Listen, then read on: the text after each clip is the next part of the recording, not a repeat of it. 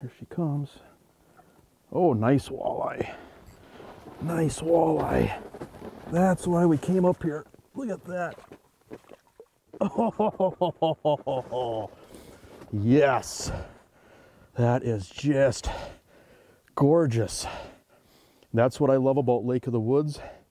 Every time you drop down a spoon, you've got the potential to catch really nice fish.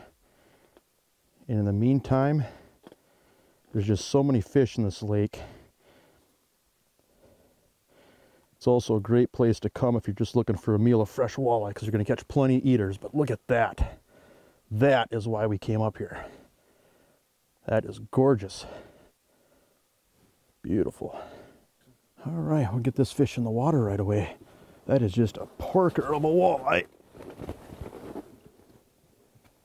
There she goes.